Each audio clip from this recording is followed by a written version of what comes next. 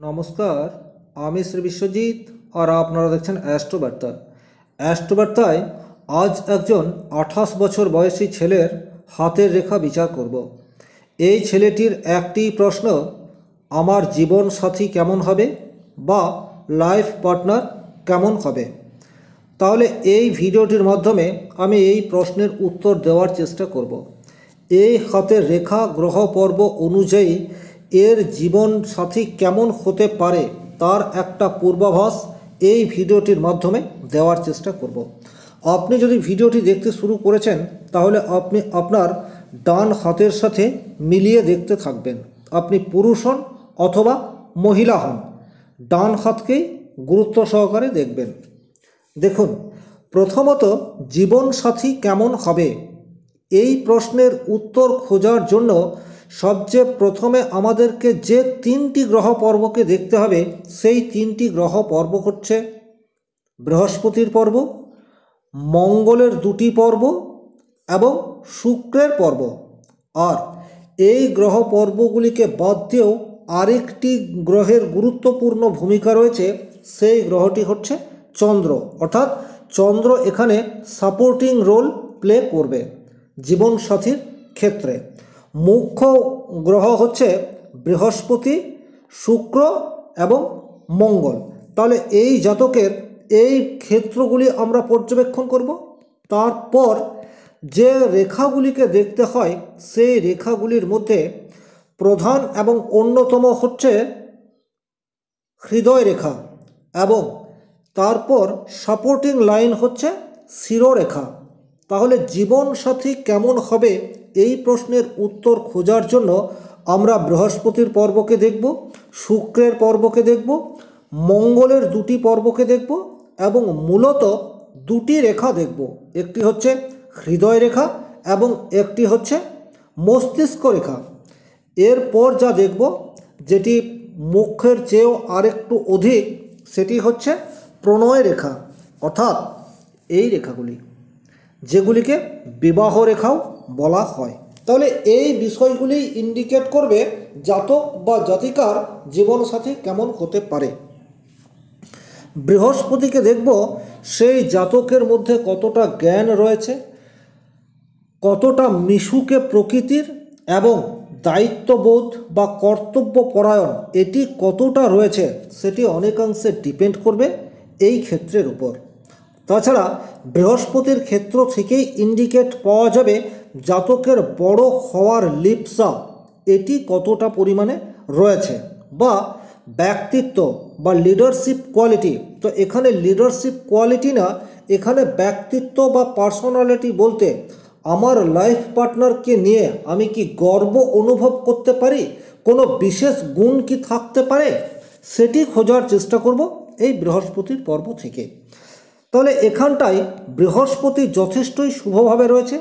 কীভাবে এটা বুঝলাম? তার কারণ হচ্ছে বৃহস্পতির ক্ষেত্রটিকে যদি আপনারা দেখেন, তার মধ্যে একটা উজ্জ্বল আভা, এটি লক্ষ্য করা যাচ্ছে। তাছাড়া বৃহস্পতির ক্ষেত্রে এই ধরনের কিছু রেখাও আমরা লক্ষ্য করতে পাচ্ছি।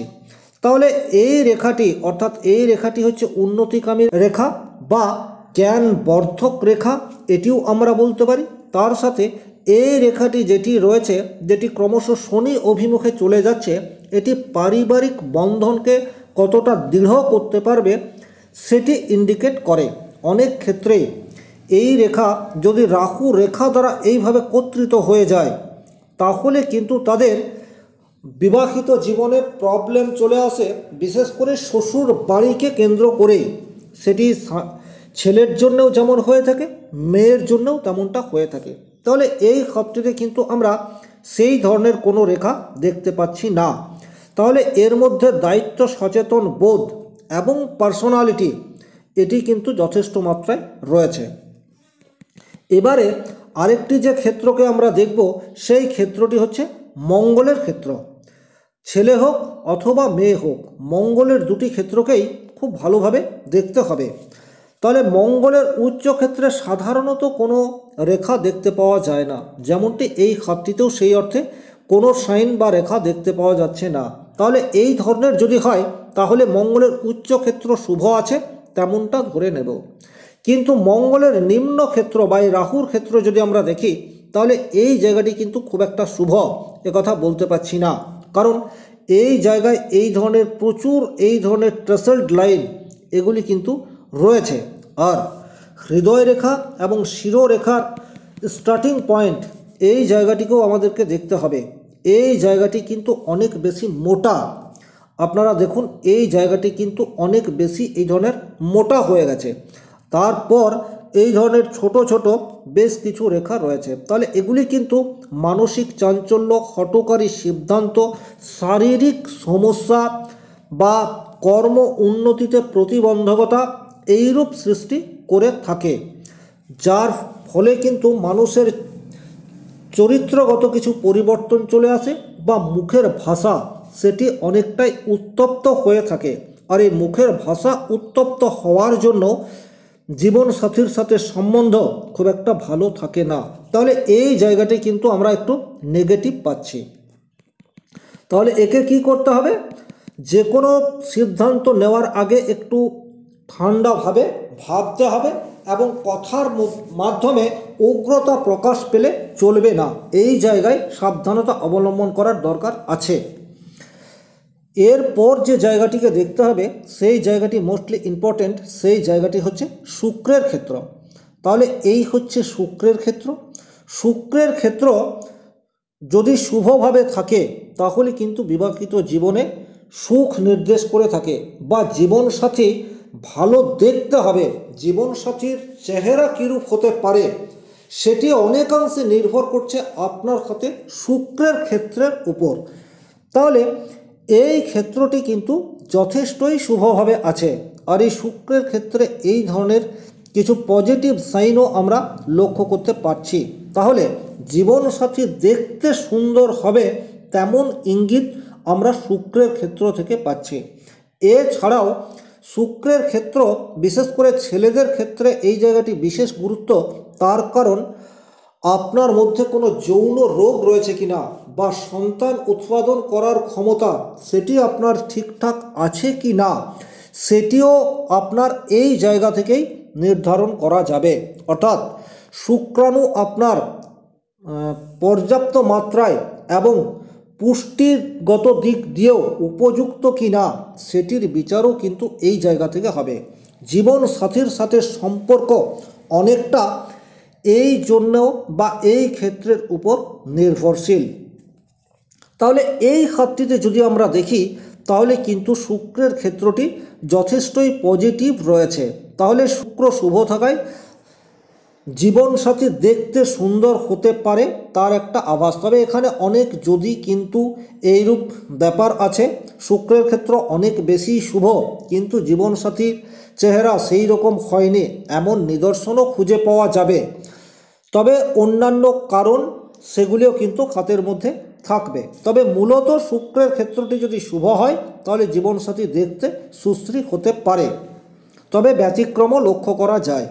তাহলে এইগুলি আমরা শুভভাবেই পেলাম। অর্থাৎ তিনটি গ্রহ পর্ব বৃহস্পতির ক্ষেত্র শুভভাবে আছে জীবনসাথীর মধ্যে পার্সোনালিটি থাকবে দায়িত্ব বোধ এটি যথেষ্ট মাত্রায় থাকবে এবং সংসারকে এক সূত্রে বেঁধে রাখার চেষ্টা করবে।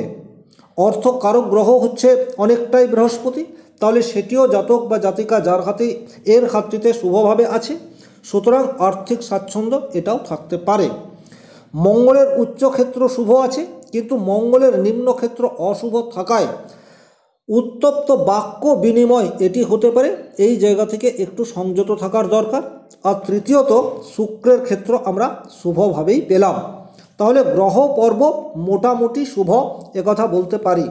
এবারে যে তিনটি রেখা আমরা দেখব, প্রধানত যে রেখা দেখব, সেই রেখাটি হচ্ছে আপনার প্রণয় রেখা বা বিবাহ রেখা। তাহলে প্রথমে যে প্রণয় রেখাটি, অর্থাৎ সন্নিকটে যে রেখাটি রয়েছে, এটি পঁচিশ বছরের পূর্বে, অর্থাৎ বাইশ তেইশ বছর বয়সে জাতকের জীবনে প্রেম বা সম্বন্ধ আসতে পারে, তার নিদর্শন করছে। তবে এখানে শুক্রের যা পজিশন রয়েছে, তাতে জাতকের জীবনে এই রেখাটি প্রেম নিয়ে আসবে।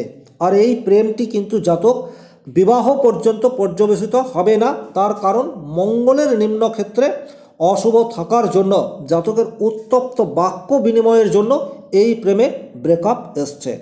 দ্বিতীয়, অর্থাৎ যেটি আপনার কনিষ্ঠাঙ্গুলির সামনে যে রেখাটি রয়েছে, এটি প্রকৃত অর্থে বিবাহ রেখা এবং এই বয়সে জাতকের বিবাহ হবে। সেটি অ্যাপ্রক্স উনত্রিশ ত্রিশ, অর্থাৎ সময় চলছে একথা বলা যায়। তাহলে এই বয়সটিতে জাতকের বিবাহ হবে। এবার বিবাহিত জীবনে অনেকটা এই রেখাটি, অর্থাৎ এই রেখাটিকেও গুরুত্ব সহকারে দেখতে হবে।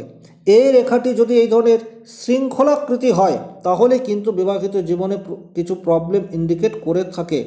তাহলে এই হাতটিতে কিন্তু আমরা দেখতে পাচ্ছি কিছুটা নেগেটিভ সাইন রয়েছে। তাহলে প্রেমের ক্ষেত্রে বা পারস্পরিক বোঝাপড়ার ক্ষেত্রে কিছুটা সমস্যা ইন্ডিকেট করছে। আর এই পারস্পরিক বোঝাপড়া এটির জন্য সাপোর্টিং প্ল্যানেট চন্দ্র। তাহলে চন্দ্রের ক্ষেত্রটিও যদি নেগেটিভ হয়, তাহলে কিন্তু পারস্পরিক বোঝাপড়ার জায়গাটিও শুভ হবে না। তাহলে চন্দ্রের জায়গাটিকে যদি দেখি আমরা, তাহলে এই ধরনের ছোট ছোট কিছু টেসার্ড লাইন বা এলোমেলো লাইন আমরা লক্ষ্য করতে পারছি। তাহলে এইগুলি কিন্তু শুভ সংকেত নয়। তাহলে পারস্পরিক বোঝাপড়ার জায়গায় কিছু প্রবলেম ক্রিয়েট করতে পারে, এইরূপ নির্দেশ করছে হৃদয় রেখা। এবারে আরেকটি যে সহায়ক বা প্রধান রেখা, সেটিকে আমরা দেখব। সেই রেখাটি হচ্ছে মস্তিষ্ক রেখা বা ব্রেন লাইন কেন মস্তিষ্ক রেখা বা ব্রেন লাইনকে নেওয়া? কারণ বুদ্ধিমত্তার প্রয়োগ, এটি ডিপেন্ড করে মস্তিষ্ক রেখার উপর। অর্থাৎ যে কোনো গ্রহের পজিটিভ রেজাল্ট নিয়ে আসবে। আপনি সেই গ্রহের কতটা প্রয়োগ করতে পারছেন। যেমন বৃহস্পতি শুভভাবে আছে, শুক্র শুভভাবে আছে। তাহলে এর রেজাল্ট বা ফল এটি আসবে আপনার মস্তিষ্ক রেখা থেকে। কারণ মস্তিষ্কের কারুকার্য বা মস্তিষ্কের প্রয়োগ ক্ষমতা কী রূপ? তার উপরেই ডিপেন্ড করে গ্রহের ফল। তাহলে এটি কিন্তু জাতকের মোটামুটি শুভভাবে রয়েছে একথা আমরা বলতে পারি। তার কারণ এটি চন্দ্র এবং মঙ্গলের মাঝ বরাবর চলে এসছে। তবে এই ধরনের কিছু ছোটোখাটো রেখা আমরা মস্তিষ্ক রেখায় দেখতে পাচ্ছি। এই রেখাগুলিও কিন্তু মোটামুটি শুভ ফল দেবে, কারণ চন্দ্রক্ষেত্র থেকে রেখাটি উত্থিত হয়ে ওপরের দিকে যাচ্ছে।